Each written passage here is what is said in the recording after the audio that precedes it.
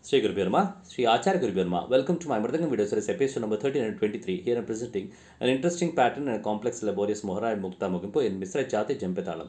This Mohra is set to 120 kriyas and the Mukta is set to 40 kriyas each. Hope you are all enjoying my non-stop video series on varieties of Mohra and Mukta Mugimpu and various talas without repeating any idea or pattern so far since last 1322 days non-stop. You can log on to my YouTube channel Dr. P. Srinivasa Gopalan to find in all my videos in that. Let me demonstrate today's Mohra for you.